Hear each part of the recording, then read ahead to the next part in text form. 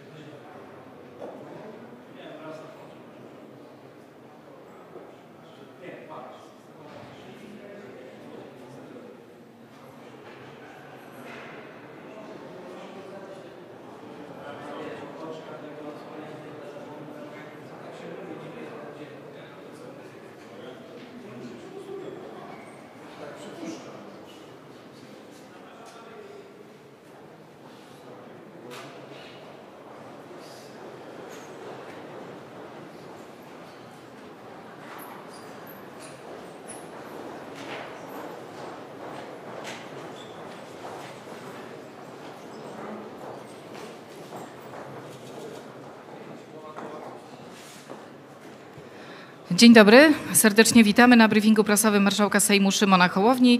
Rozpoczynamy dzisiaj już za kilkanaście minut posiedzenie Sejmu o godzinie 10, więc krótka informacja o tym, jak będą wyglądały kolejne trzy dni. Potem będzie czas może na jedno, dwa pytania z uwagi na zbliżające się posiedzenie.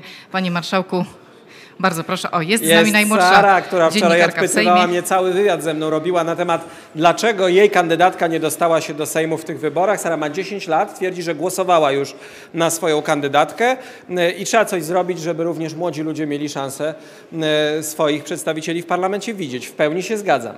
E, drodzy Państwo, kolejne posiedzenie Sejmu. Ja wiem, że emocje koncentrują się dzisiaj wokół wielu tematów, ale moje emocje koncentrują się przede wszystkim wokół tego, co zrobić, żebyśmy uchwalili w czasie tego posiedzenia dobre prawo. E, wiecie Państwo, że wpłynął e, ze strony rządu projekt e, przedłużający terminy w sprawie pomocy przez państwo polskie obywatelom Ukrainy. Będziemy go procedować jako pierwszy. Jest to projekt, który korzysta ze specjalnej ścieżki, jako że jest projektem wykonującym prawo Unii Europejskiej. Na tym posiedzeniu będzie też zmiana prawa farmaceutycznego. To jutro, czyli tak zwana pigułka dzień po. W tej sprawie będziemy, tą sprawą będziemy zajmować się jutro. Mamy też sześć sześć projektów obywatelskich, które będziemy czytać. E, zaczynamy od jutra między innymi kwestią emerytur stażowych, e, to renty wdowiej, to są ważne dla wielu Polaków e, tematy i ostatni dzień to w całości projekty obywatelskie. Drodzy Państwo, wiecie też, że zostało złożonych wczoraj wiele różnych propozycji dotyczących poszerzenia porządku obrad. PSL, Konfederacja, PiS złożyły wnioski o informację dodatkową ze strony rządu w różnych kwestiach bezpieczeństwa narodowego, w KPO i jeszcze wielu innych. E, prezydium Sejmu uznało, że ponieważ na tym Sejmie, na tym posiedzeniu informacja bieżąca przysługuje Prawu i Sprawiedliwości, e, więc Prawo i Sprawiedliwość może ze swoim prawem do informacji jeszcze chwilę poczekać. Natomiast wszystkie te kluby e, zostaną poważnie potraktowane. Pójdzie pismo do prezesa Rady Ministrów w sprawie wszystkich tych oczekiwań, żeby przygotowała się Rada Ministrów do udzielenia takich informacji na kolejnych posiedzeniach. Klub PiS wczoraj wieczorem przysłał też do mnie trzy projekty uchwał. E, W wielkim skrócie jedna z nich stwierdza, że w Polsce trwa właśnie zamach stanu. Druga e, oczekuje, że Sejm e, wyrazi swój stanowczy sprzeciw przeciwko bestialskim torturom, jakim miał być poddany w zakładzie karnym w Radomiu pan Mariusz Kamiński. I trzecia wreszcie oczekuje od Sejmu stanowczej, radykalnej obrony zdaniem uchwałodawców poniżanego albo w inny sposób jeszcze źle traktowanego Trybunału Konstytucyjnego. E, Ja poważnie traktuję e, wszelkie e, poselskie inicjatywy. Powiedzieliśmy, że nie ma zamrażarki, a więc nie ma zamrażarki. Nadałem tym uchwałom numer druku i skierowałem je do pierwszego czytania w Komisji Sprawiedliwości. Komisja Sprawiedliwości zdecyduje, jak szybko to przeproceduje i jak szybko znajdzie się to w drugim czytaniu na sali sejmowej. Natomiast nie ma, mimo że to wczoraj wpłynęło, trzeba było to jeszcze wysłać do analiz, chcę tu iść na rękę posłom i chcę, żeby taka dyskusja, jeżeli tego oczekują, była też możliwa. Prezydium Sejmu podjęło też decyzję ze względu na dobro prac Sejmu e, i sprawność tych prac. Mamy wiele projektów, które przede wszystkim tych obywatelskich, które pewnie, e, nad którymi moglibyśmy dyskutować tygodniami, o limitowaniu liczby pytań w pierwszych czytaniach na tym posiedzeniu. Będzie ich 41, 42, przepraszam, według parytetu, na który się już wcześniej umówiliśmy i który był stosowany, a więc 17 pytań Prawo i Sprawiedliwość, 14 pytań Koalicja Obywatelska, no i później po kolei według parytetu e, kolejne kluby e, w malejącym porządku. To chyba tyle, jeżeli chodzi y, w, o to, co będziemy na tym Sejmie robić. Y, Ja naprawdę liczę na to, że uchwalimy tutaj parę ustaw, o losach paru ustaw zdecydujemy i że przede wszystkim, drodzy Państwo, skończy się ta telenowela, którą obserwujemy y, i której coraz częściej mają dość chyba nie tylko parlamentarzyści, ale również Polki i Polacy, czekający na to, że Sejm będzie pracował, że Sejm będzie miejscem dyskusji, ale nie będzie areną dla politycznego chuligaństwa, a każdy serial ma to do siebie, że choć ma zawsze swój następny odcinek, musi mieć też swój ostatni sezon y, i w niektórych kwestiach mam nadzieję, że ten ostatni sezon szybko nastąpi. Chcemy tu spokojnie pracować, chcemy tutaj rzeczywiście rozmawiać i uchwalać y, dobre prawo, na które Polki i Polacy czekają. To tyle z mojej strony. Rozumiem, że Państwo są aż nabrzmiali od pytań, w, przynajmniej w, czuję to w powietrzu, y, a więc teraz, zanim pójdziemy na salę, y, oczywiście krótka runda pytań. Jeszcze mamy nie, niecałe 10 minut. parlamentarzystą, posłem Prawa i Sprawiedliwości. Mam pytanie do pana marszałka. Tak.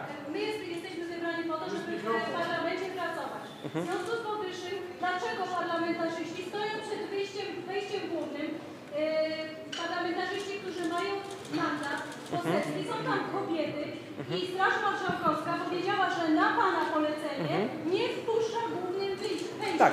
Więc moje pytanie jest, dlaczego? Czy wygasi pan mandaty również Tak. y, kolejnym 190 pa- parlamentarzystom Prawa i Sprawiedliwości? To jest moje pytanie. Już Mam wyjaśniam, już wyjaśniam. Dobrze. Pani poseł, pani poseł, pani poseł? Pani jest posłanką i ja jestem posłem. Pokazuje mi pani legitymację poselską i ja też ją pani pokazuję. Jesteśmy, możemy normalnie rozmawiać, prawda? Jak poseł z posłem, posłanka z posłem. Pani poseł, mamy bardzo jasną i konkretną sytuację, z którą czas się pogodzić. Sąd Okręgowy w Warszawie 20 grudnia ubiegłego roku wydał, nie, nie, teraz ja mówię, pani poseł, zadała mi pani pytanie, zadała mi pani pytanie, a ja pani, a ja pani odpowiadam. Nie ma, aha, dobrze. Już odpowiadam, już odpowiadam. Już odpowiadam pani poseł. Pani pyta o swój mandat. Już odpowiadam. Już chcę odpowiedzieć. Jestem tu, chcę odpowiedzieć. Mariusz Kamiński.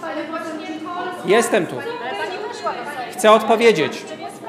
Chcę odpowiedzieć. Czy ja mam wchodzić pod ziemiami, czy mogę wejść Halo, pani poseł, jestem tu. Chcę odpowiedzieć. Pani poseł, Nigdy w życiu nie przyszło mi przez myśl, żeby pozbawiać kogokolwiek z posłów, a już szczególnie posłów Prawa i Sprawiedliwości, prawa do wykonywania mandatów, bo marszałek nie ma takich kompetencji. To robią sądy, jeżeli decydują w tej sprawie. Marszałek nie ma takich kompetencji. Natomiast przyznam się pani do pewnej wątpliwości. Pojawiła się w moim sercu zasiana przez prezesa Jarosława Kaczyńskiego wątpliwość, jak traktować parlamentarzystów, skoro Sejm nie istnieje. A więc jeżeli prezes państwa partii stwierdza, że nie istnieje Sejm, wahałem się przez chwilę, wahałem się przez chwilę, ale uruchomiliśmy wycieczki jednodniowe. Każdy może wejść, jeżeli chce, ale zacząłem się wahać, wypłacać wynagrodzenia czy nie wypłacać. Wszystko pójdzie na konto waszego prezesa. To on powiedział, że nie ma Sejmu. No proszę pani, to jest przecież ontologiczna sprzeczność. Jak można wypłacać coś z czegoś, czego nie ma? E, sprowadzajmy każdą polityczną rozmowę do konkretów. Ja też pani poseł i chcę mieć, chcę, żeby pani była pewna, że zawsze ma pani wstęp do polskiego parlamentu, jako posłanka na Sejm Rzeczpospolitej Polskiej. Zawsze ma Pani tutaj wstęp. Przysługują Pani pełne prawa posłanki na Sejm Rzeczpospolitej Polskiej. Nic się w tej sprawie nie zmieniło. Mam nadzieję też, że się nie zmieni. Chciałam iść dookoła y, podziemnym wejściem, a nie mogłam wejść przez wejście główne. Jeżeli to Panią uspokoi, to ja dzisiaj też wchodziłem do Sejmu podziemnym wejściem od hotelu sejmowego, ponieważ przed posiedzeniem byłem na chwilę w kaplicy. Panie marszałku. Włos mi z głowy nie spadł, ale chcę powiedzieć bardzo jasno, Pani poseł, że jeżeli chodzi o porządek na terenie parlamentu, za który odpowiadam wraz z Kancelarią Sejmu, to się niestety czasem będzie wiązało z pewnymi utrudnieniami dla nas posłów, ale nie robimy tego, żeby się na kimś zemścić. Robimy to po to, żeby się nikomu nie stała krzywda. Jak jest tumult, to ktoś może kogoś popchnąć, ktoś upadnie, będzie Panie nieszczęście. marszałku. Nie wolno w ten sposób. Panie marszałku, co będzie z trzema uchwałami, które złożyło Prawo i Sprawiedliwość? Jakby pan redaktor był uprzejmy skoncentrować swoją wspaniałą uwagę na mnie, a nie na innych obiektach zainteresowania, to wiedziałby pan, Tak. że na to pytanie już odpowiedziałem. Te projekty uchwał mają już nadane przeze mnie numery druków i zostały przeze mnie wysłane do pierwszego czytania do Komisji Sprawiedliwości. No dobrze, czyli kiedy będziemy, będzie, będziecie Państwo je głosować? Najpierw Komisja Sprawiedliwości. Uchwały procedujemy w dwóch czytaniach. Pierwsze odbędzie Jasne, się w Komisji jasne. Sprawiedliwości. Nie wiem, kiedy jest najbliższe posiedzenie. Zwykle pewnie gdzieś w tym posiedzeniu Sejmu, bo to zwykle jedno drugie. A co Pan sądzi o zamachu stanu? A później- Zarzucanym Wam? No, jeżeli ktoś przychodzi i składa uchwałę o tym, że w Polsce trwa właśnie zamach stanu, to ja żyjąc również w tej Polsce i obserwując to, co się w Polsce dzieje, mam zgoła inną percepcję i inne doświadczenia. E, y, Ludzie czekają dzisiaj na rozwiązania, a nie na wielkie polityczne deklaracje. Jeżeli pyta mnie pan, co sądzę o uchwale, która stwierdza, że pan Kamiński poddawany był w zakładzie karnym w Radomiu bestialskim torturom, mam co do jej treści poważne wątpliwości. A, Trybunał Konstytucyjny poprosiła, czy jest... do bardzo, uchwały bardzo- o Trybunale Konstytucyjnym uważam y, tę uchwałę za akt spektakularnej, potężnej i wzmożonej obrony w sytuacji, w której nikt nie atakuje, y, a więc przeszacowanie środków, które zostały użyte w tym akurat rozdziale politycznego sporu. Bardzo przepraszam, że zmusiłem Pana do odpowiedzi drugi raz na to samo pytanie. Nic nie Oddaję szkodzi. głos Pani Wielka Adamek. czułość i sympatia wciąż do pana redaktora z mojej strony. Ja przepraszam, bardzo proszę panów operatorów o cofnięcie się kilka kroków, bo nie widzimy też mikrofonu. Pan redaktor Wróblewski z Wirtualnej Polski, pytanie potem e, pa, pani dzwonić, redaktor z zaraz TVN musimy 24 i pewnie na tym skończymy, bo już nie zdążymy, zostało nam 5 minut. Niestety tutaj e, w, w, część Dobrze, pytań... Jeszcze chciałem, jeszcze chciałem e, Tak. dopytać o skazanych polityków Prawa i Sprawiedliwości, bo przed Sejmem padły ostre słowa również w, w kierunku funkcjonariuszy Straży Marszałkowskiej. Jarosław Kaczyński mówił o rozliczeniach, również funkcjonariuszy, o których e, mówię. Jakie konsekwencje może mieć e, ta sprawa, jak sobie pan wyobraża w ogóle uczestnictwo tych panów e, dzisiaj podczas posiedzenia? Nie będą uczestniczyć w posiedzeniu jako posłowie i nie ma co do tego żadnych wątpliwości. Mówiłem przed chwilą również na konwencie seniorów przedstawicielowi Prawa i Sprawiedliwości. W tej sytuacji nic się nie zmieni, a w Sejmie Rzeczpospolitej nie ma miejsca na polityczne chuligaństwo, warcholstwo i próby hańbienia, zaczepiania w jakiś sposób profanowania munduru Straży Marszałkowskiej. Straż Marszałkowska Komendant Sadon jest zresztą na zewnątrz, uczestniczy bezpośrednio wraz ze swoimi funkcjonariuszami, nigdzie się nie chowa, jest na y, pierwszej linii tych rozmów, które tam się toczą. E, Jest formacją, która jest profesjonalna i która ma orzełka na swoich czapkach, w związku z powyższym wypełnia swoje funkcje w imieniu Rzeczpospolitej Polskiej. Oczekujemy szacunku dla munduru Straży Marszałkowskiej, szacunku dla strażników marszałkowskich i tak jak powiedziałem, niezależnie od tego, jaki jest status danej osoby, jesteśmy w Polsce wszyscy równi wobec prawa. Nie wolno atakować funkcjonariuszy publicznych, nie wolno ich zmuszać w ten czy inny sposób do odstąpienia czynności, do których mają prawo i Straż Marszałkowska dzisiaj może być pewna, że marszałek Sejmu, że prezydium Sejmu, że kancelaria Sejmu stoi za nią murem i będzie stała za nią murem, za każdym funkcjonariuszem i funkcjonariuszką, bo oni są po to, żeby w Sejmie Rzeczpospolitej panował porządek, a nie warcholstwo, chuligaństwo i kultura liberum veto, czy wchodzenia na masę do budynków, do których powinno się wchodzić z szacunkiem, tak jak od każdego, od każdego tego szacunku oczekujemy. Agata Adamek, TVN24. Panie Marszałku, czy te nagrania, które y, są zarejestrowane sprzed wejścia do Sejmu, będą analizowane też pod kątem no, odpowiedzialności karnej za ewentualne znieważenie strażników marszałkowskich? Tak, strażników marszałkowskich będziemy bronić i Straży Marszałkowskiej będziemy bronić bardzo zdecydowanie. Przeanalizujemy to bardzo dokładnie. My od samego początku i ja od samego początku są na to godziny nagrań. Mówiłem, nie będzie żadnej szarpaniny, nie będzie żadnej prowokacji ze strony Straży Marszałkowskiej. Nikomu nie zależy na fizycznej konfrontacji. Chcecie się spierać? Spierajmy się. Przed chwilą siedziałem na konwencie przy stole z panem posłem Suskim, który znów wyzywał mnie od najgorszych e, i, i już szukał tam już nieprawdopodobnych metafor y, na moje postępowanie, ale mówię, panie pośle Suski, świetnie, siedzimy przy stole i rozmawiamy. To tak powinno wyglądać. Natomiast jakikolwiek gest wymierzony w funkcjonariusza Straży Marszałkowskiej, który odpowiada za nasze bezpieczeństwo tutaj, będzie surowo y, przez nas oceniany i będziemy analizować to od Muszę strony prawnej. Oni muszą być pewni, że my za nimi stoimy murem i mogą być pewni. A państwu z Prawa i Sprawiedliwości raz jeszcze chcę powiedzieć: zakończcie tę telenowelę. Polacy czekają dzisiaj naprawdę na zupełnie inne obrazki z Sejmu. Czekają na ustawy, na rozwiązania, na realizację nas wszystkich wyborczych obietnic, a nie na to, żeby działy się tutaj takie sceny, jakie widzieliśmy przed chwilą. To był akt politycznego chuligaństwa, politycznego wandalizmu i takie rzeczy na terenie Sejmu Rzeczpospolitej nie powinny mieć miejsca. Natomiast z naszej strony na pewno będą tylko działania deeskalacyjne, a nie jakakolwiek eskalacja. I jeszcze jeden prosty komunikat. Panowie Wąsik i Kamiński na mocy wyroku Sądu Okręgowego w Warszawie nie są posłami.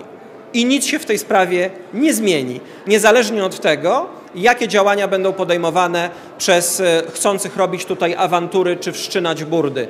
Nie zostaną wpuszczeni na salę obrad, nie wezmą udziału w głosowaniach, nie będą brali udziału w pracach organów Sejmu Rzeczpospolitej. Kropka. A na jakim etapie jest obsadzenie mandatów po nich? Komisja wyborcza się zawiesiła, mówiąc zupełnie wprost. Najprawdopodobniej jest tam sytuacja 4 do 4, spotykają się na kolejnych głosowaniach. E, Pan Liwiusz Laska przeszedł do jednego z ministerstw. e, e, być może wyglądałoby to tak albo inaczej, natomiast jest tam pad. Ja wysłałem e, wczoraj czy przedwczoraj kolejne pismo do pana przewodniczącego Marciniaka, w którym jasno wskazuje, że podjęcie przez nich czynności jest ich obowiązkiem wynikającym z prawa i naprawdę nie rozumiem, dlaczego jeszcze na to czekamy. To było krótkie, jednozdaniowe pismo, w bardzo stanowczym i konkretnym tonie utrzymane. Myślę, że Państwowa Komisja Wyborcza powinna jak najszybciej zrobić to, co do niej należy, a więc wskazać osobę do objęcia mandatu po panu pośle, byłym pośle Mariuszu Kamińskim. E, Spór sprawny w sprawie mojego zaświadczenia e, dotyczącego obsadzenia mandatu po panu pośle Wąsiku jest w toku. E, Ja tylko chcę też sprostować jedną informację, która tutaj się pojawia, bo panowie też byli posłowie, ich wspierający mówią o tym, że Sąd Najwyższy unieważnił wyrok Sądu Okręgowego, wyrok karny Sądu Okręgowego w Warszawie. Każdy, nawet maturzysta rotacyjny, taki jak ja, wie, że Izba Kontroli Nadzwyczajnej i Spraw Publicznych nie ma żadnych kompetencji do oceniania wyroków sądu w sprawach karnych Sądu Okręgowego w Warszawie. Oni się zupełnie czymś innym zajmują, e, a w tej konkretnej sytuacji zajmowali się tym, czy ja dobrze napisałem zaświadczenie, które dotyczy tych panów posłów, a nie ich realnym statusem. Dziękujemy, musimy iść, bo rozpoczyna się Już posiedzenie dzwonią, i nie dzwonią. rozpocznie się bez Obiecuję marszałka Sejmu. Obiecuję Państwu, że dzisiaj będziemy mieli jeszcze okazję do rozmowy. Będę starał się wychodzić do Państwa tak często, jak to będzie możliwe, żebyście byli na bieżąco informowani o sytuacji. Dobrze? Natomiast teraz już Bardzo dziękujemy.